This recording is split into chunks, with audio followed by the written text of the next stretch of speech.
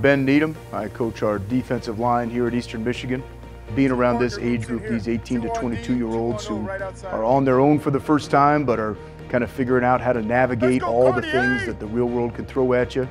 Uh, that's a lot of fun. And there's really, really good days, and there's some days that are not as good, but there's never a boring day when you're dealing uh, with this group. And I'm lucky that the D line that I get to coach in particular is full of great personalities and guys that are very coachable. So number one is, is the players that you get to be around.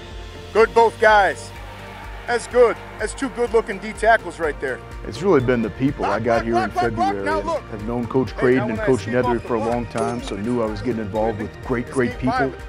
Uh, but man, getting to know the rest of the staff and even just the, the people that work here in athletics and at the university that, you know, maybe are not in football specifically.